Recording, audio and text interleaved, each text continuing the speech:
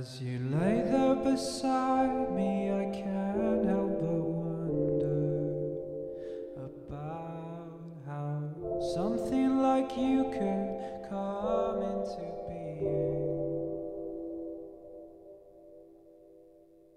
A link in a long chain, you remain tethered to a history we know nothing about, but for which I know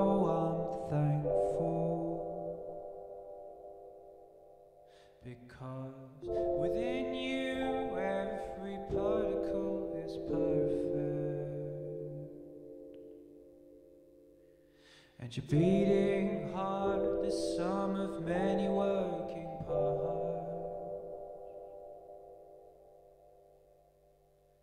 You are a triumph of natural selection.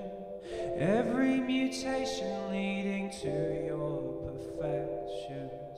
And I'll try, and I'll try, and I'll